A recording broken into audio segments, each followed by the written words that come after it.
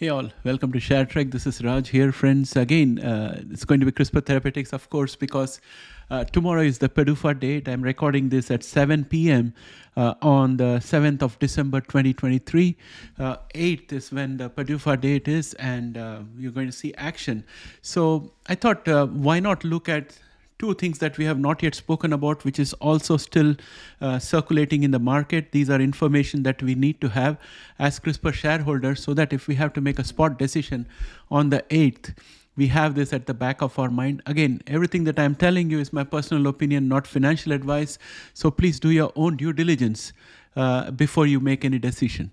That said, full disclosure, I have 100 shares of CRISPR Therapeutics and I have a covered call on it with a strike price of 80 and expiry in January. So I'm kind of locked in at this point of time. I also have 600 shares of Bluebird, which is free. I haven't uh, been able to sell a covered call with the kind of um, margins that I was looking for or premium that I was looking for. So uh, that's the disclosure I would like to make. Of course, uh, ARKG is the other thing that I have. So what am I going to talk about in today's video? First thing I'm going to talk about a cancer scare that's being spoken about um, uh, with regard to sickle cell disease um, with um, treatment similar to Exa-cel. And um, uh, I'm going to give you a brief overview of what it is and what it means. Uh, second thing that I want to talk to you about is sizing how much money CRISPR Therapeutics is going to make uh, with the approval of Exa-cel. And so far, we have not done that. So I'm going to talk to you about the entire history of the deal between CRISPR and Vertex, and we'll see how it evolved. Uh, most recently, Vertex bought 10% extra uh, profits by paying money to uh, CRISPR Therapeutics and there is a, responsibility for CRISPR to deliver certain things in United States, which again could uh, come into picture because of the IP issue. So with that said, uh, I think let's get started. Welcome back, friends. The collaboration between CRISPR Therapeutics and Vertex dates back to a long time. Uh, and first, I want to take you through uh, their uh, collaboration, how it happened. And uh, after that, I will be talking about the, um, the revenue potential. And finally, I'll talk about the sickle cell uh, uh, treatment and cancer uh, scare. So this is the sequence of my presentation. So first, let me take you across to the history of this deal, which will give you an idea of how the revenue and cost sharing metamorphosized and what it is right now. So here is the uh, table that I wanted to show you. Uh, as you can see on October 2015, uh, they entered into a, a, deal with each other, both CRISPR and Vertex. And um, uh, the deal was gene editing collaboration uh, and Vertex gains rights to license up to six targets. At that time, the targets were not identified and Vertex paid $105 million upfront, including 13 million of equity purchase in CRISPR Therapeutics. And it agreed to pay milestones of up to 420 million on any target licensed with costs and sales to be shared equally on any uh, target taken for forward in hemoglobinopathies. And sickle cell disease and uh, TDT are hemoglobinopathies. And it also says CRISPR will be leading the US commercialization. So friends, remember this part very clearly because Europe is all clear for um, uh, CRISPR IP. So I don't think Vertex is going to face any problems out there. The issue is what is CRISPR going to do when it tries to commercialize it in US. So I think the heavy lifting has to be done by CRISPR here. This is my personal opinion, not financial advice. And I would like to hear from you guys what you think. Please put your, uh, uh, your thoughts in the comment below. Next, in December 2017, CTX001 was selected as the first gene-edited therapy to be developed. And if you recollect, CTX001 was later renamed Exa-cel, and it's now branded as Casgevy in Europe. And I suppose that it will be the same brand used in uh, US as well. And there were no new uh, terms or anything announced, so I'm assuming that the terms remained unchanged at that time in 2017. And fast forward, April 2021, the deal was amended to give Vertex global lead on development, manufacturing, and commercialization. Uh, sharing revised from 50% to now 60% share of costs and profits in favor of Vertex. And for that extra 10% share, um, Vertex paid $900 million to CRISPR Therapeutics plus potential 200 million milestone on first regulatory approval. So this 200 million will be coming in to CRISPR as soon as the approval takes place tomorrow. So that's how uh, the deal was restructured. And now, when we talk about uh, deal amended to give Vertex global lead on development, manufacturing, and commercialization. So when I when we talk about global, and we have um, the October 2015 deal saying that CRISPR will lead commercialization in uh, US. Uh, so I am thinking that global means everything other than US. Uh, I could be wrong, but uh, please put your um, comments below on this issue so that we can have some clarity out here.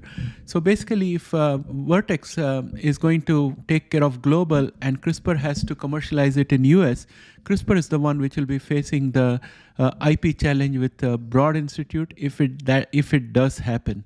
So that's the first point I wanted to make with uh, this particular table.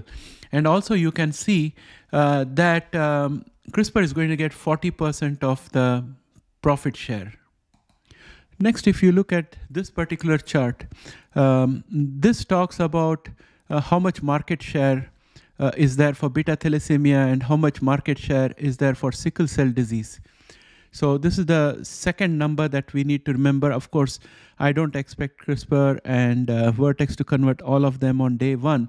But suffice to say that there's a large addressable uh, population in US and EU. These are US and EU numbers. This does not include the rest of the world. This is just US and EU. Assuming that this goes ahead in the European Union, um, I don't know if EMA has yet approved. I don't think they have. They will also be following suit because UK has already approved, and if FDA does, uh, EMA won't be far behind. But we are looking at a total of uh, 450,000 plus patients between EU and US. So we'll revisit this number later on. I want to show you something else also. Here is an article from CNBC. And the reason I have picked up this uh, article is because for the first time we are having a number out here. Vertex Pharmaceuticals and CRISPR Therapeutics co-developed the, co-developed the treatment which could cost around $2 million per patient. So we are looking at 2 million per patient out here, which means Bluebird Bio is also going to come in the same ballpark. So we have an idea of what kind of revenues these two companies would make. So that is amazing and astounding.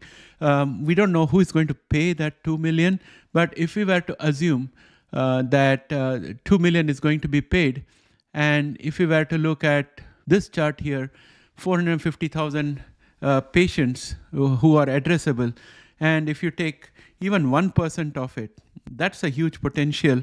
And out of the um, 2 million, uh, I think we, we can expect 40% of profits to come over to CRISPR Therapeutics. So from the 2 million, we have to deduct costs and everything. We don't know the cost metrics about uh, this uh, particular therapy, and we don't even know whether uh, per dose manufacturing cost is going to be uh, in the millions or is it going to be in the thousands or hundred thousands? So we have no idea about that. So it's difficult to make a call on that. But we are looking at high numbers.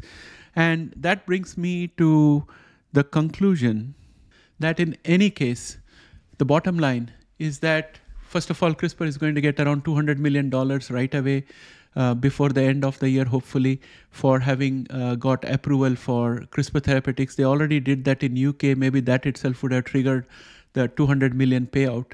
So that's point number one. And point number two is that this is going to immediately increase the EPS uh, for CRISPR Therapeutics. If you look at the history of CRISPR Therapeutics EPS, let me take you to another chart. This is in uh, Yahoo Finance, and you can see the basic EPS right? Uh, in 2019, uh, they were 1.23 uh, per share.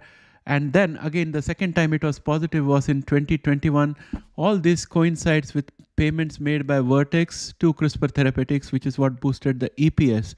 And is uh, without that, they have been in the negative, minus 5.29 in 2020. And um, right now, again, we are in minus 5.29. But this is going to pick up and instead of uh, evaluating crispr therapeutics as a not not profit making company and using price to sales we'll start using uh, the eps as a benchmark for uh, valuing crispr therapeutics and that could boost the value of uh, crispr therapeutics. And friends I have been talking about $80 as a target. Uh, that seems to be in the lower end because many analysts believe that it could go as high as 87 to $89 per share for CRISPR Therapeutics. So that's how the market is looking at it. And I thought I need to bring these information uh, to your um, notice because uh, we have been talking about CRISPR for a while, but we did not check how the original deal had um, uh, changed. So now CRISPR gets only 40% of the profits. And I still think that CRISPR is going to have challenges uh, commercializing the therapy in. Uh, uh, in the US, and we will get to know whether Broad Institute is in a mood for compromise and uh, what that compromise is going to cost.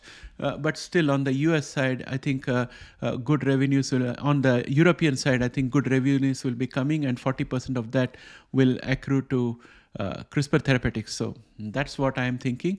The next topic I want to talk to you about is the uh, fear of uh, mutations and uh, cancers uh, due to um, therapies like uh, Exacel. So I'm taking this from an article. I'm going to show you the article first. I'll also put the link in the description below. Uh, so that's another piece of information that we have to keep in mind because it's kind of contingent liabilities. But remember, when we have um, ailments like uh, sickle cell disease and beta thalassemia, which is really hard on patients, and when the current standard of care uh, is uh, not providing as much relief uh, and does not free the patient to live a normal life, uh, then FDA will definitely uh, look forward to anything that is a much better improvement over the current condition. And in that process, a few risks are accepted by FDA. And then, based on the risk, the, the companies can go about trying to mitigate it by modifying their therapy uh, to make sure that the risks are minimized. So I'll talk about that. First, let me show you the article. Well, friends, this is the uh, article I was talking about. It's in Medical Press. I'll put a link to this article in the description so that you can go and have a look for a look at it yourself. The title is New Research uh, Advances Understanding of Cancer Risk in Gene Therapies. This is by University of York. It's published on November 16, 2023, and it's based on uh, partly on uh, a study published in uh, Nature Medicine and they are looking at sickle cell disease uh, uh, gene therapies. So the present study looked at samples from six patients with sickle cell disease who were undergoing gene therapy as part of a major clinical trial at Boston Children's Hospital. The research brought together an international team of experts to take a closer look at the genetic changes in the stem cells of patients before and after gene therapy and compare the cells that were modified with the therapy to those that weren't. The study highlights the importance of long-term and in-depth monitoring of stem stem cell samples from patients with genetic conditions to track mutations that could lead to blood cancer. And that was the focus. So, the gist of this article uh, is basically that if you are going to clean out the bone marrow of a patient and then you're going to put um, uh, uh new um, uh, new stem cells in there, then some of them may have some mutation and that gets amplified. So that's the kind of uh, gist of what they are saying here. If you read this particular paragraph, it says our research indicates that gene therapy imposes a selection of different blood stem cells, the seed cells of our blood and immune system. After gene therapy, the treatment might favor growth of stem cells with certain mutations, and this in turn could potentially lead to expansion of blood cells containing these mutations. In other settings, such as expansions have been associated with development of blood cancers, particularly in older individuals, but the relationship of these studies finding to the risk of blood cancers is not fully understood. And the researchers used new techniques in genome science that allow blood cells to be tracked and compared in patients, a new approach which would substantially influence gene therapy trials in future. There are a few more conclusions which makes me feel that uh, the sickle cell therapy can be Im- uh, improved in order to reduce uh, these kind of uh, risks. So it says, notably, our study revealed that younger patients with fewer genetic mutations in their stem cells didn't exhibit strong signs of mutations post therapy. This suggests that treating patients with gene therapy at a younger age could be both safer and more effective, but substantial work needs to be done to test this formally. So uh, I think that um, uh, we need to keep this under advisement that these kind of risks exist, but then younger children uh, would be able to do much better. So the way I understand it is that as we grow older, our uh, the the stem cells in our body they keep on uh, creating blood cells and other things, and some of them mutate. And if uh, if CRISPR therapeutics were to pick up those and modify them and um, and then uh, multiply them and clean the bone marrow and put that back into the body uh, that's where i think the amplification happens. Whereas if the original uh, bone marrow was as it is with the original stem cells then uh, I, I suppose uh, that the mutations that happened after the blood cells were formed uh, would then die out in the normal process but now they are getting installed in the bone marrow that's something uh, I, I think this article is trying to say guys you know i'm not a scientist but this is what makes logical sense to me. Uh, so uh, one of the ways uh, this risk could probably be uh, I think uh, mitigated to a good extent would be to do a quality control check on the cells that are harvested prior to genetically modifying them to become Casgevy or exa-cel or whichever uh, treatment that is being done, where bone marrow is cleared and uh, new cells are put in uh, to seed the bone marrow and uh, start creating new blood cells. So any therapy of that kind is going to attract this risk, and uh, the quality control might have to be stepped up a little more, in the sense that there will be screening have to be done to eliminate uh, cells which are mutated. Uh, so that they don't become a part of the final infusion that goes back into the patient, and that can have a much superior outcome. So I don't think this is any kind of a showstopper uh, of uh, any sort, but uh, I would say that uh, for that matter, even when um, bone marrow transplant is done uh, to treat leukemias, uh, the same risk could come up out there as well with the same logic. Um, and um, I, I, think this is not a big deal as far as CRISPR therapeutics is concerned. I would be more worried about the uh, efforts to commercialize exa-cel in the United States because that's where I think um, we're going to have a jump start in litigation. Uh, everything will become clear uh, on Monday uh, once uh, the approval is received and uh, commercialization plans for US is announced. So with that, my friends, I would like to bring this video to an end. I hope you liked this video. In this channel, we try to do a deep dive into most of the topics. Uh, and um, uh, if you liked this video, please do not hesitate to put a like out there because that helps the channel, uh, the YouTube algorithm to promote the channel to people like yourself who want to see contents like this.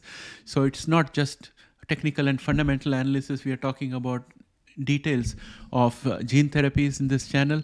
So uh, I would like more people to be able to get benefit of this. Your support is uh, much appreciated. With that, my friends, I'd like to bring this video to an end and I'll catch up with you again in the next video.